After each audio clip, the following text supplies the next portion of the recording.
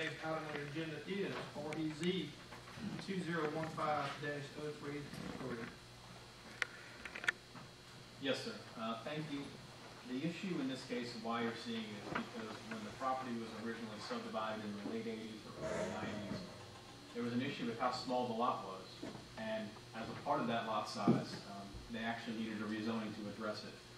In a, in a perfect world, this lot would be two and a half acres, which would exempt them from being here, but it's just right around two. So they're here requesting a zoning which is R one with the hopes of being able to develop a residence. Without the zoning, because of the lot size, they wouldn't be able to do that.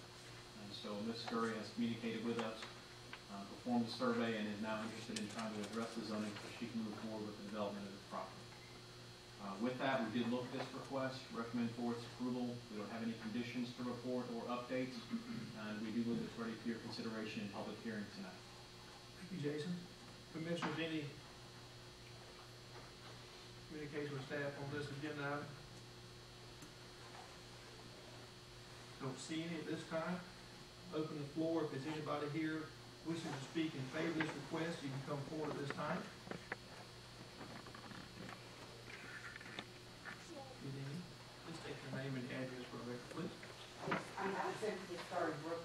Nine oh four Wilson Avenue, Valdosta, Georgia. Um, I'm only, I'm here because I would like to build my residence on this, um, land that I purchased. Um, but I know that there are some issues about the amount of land, um, that you have to build a residence on. So I'm here asking that we could rezone it so that I will be able to build a residence on. Commissioners, any questions for the presenter? Anybody else here in, wishing to speak in favor of this item? If not, anybody here that's wishing to speak in opposition for this agenda item? None seen. Commissioners, at this time, if there's no further discussion, Mr. Willis, Commissioner? Yes, sir. Uh, Please. staff, uh, Jason. Yes, You said one condition, but am I overlooking it? Is this from Mrs. Scurry? Yes. I hope it is, yeah. Uh, no, sir. I don't think there's a condition, that just might not be written correctly.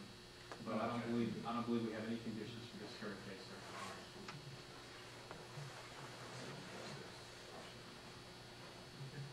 Any more discussion on this item? If not, would like to put a motion for this? Mr. Chairman, I'd like to make a motion to approve, to recommend approval, uh, of REZ twenty fifteen oh three. We have a motion, Second. we have a second. We have a motion from Commissioner Hall and a second from Commissioner McClendon. This time, raise your right hand if you're in favor of this request. Pass unanimous.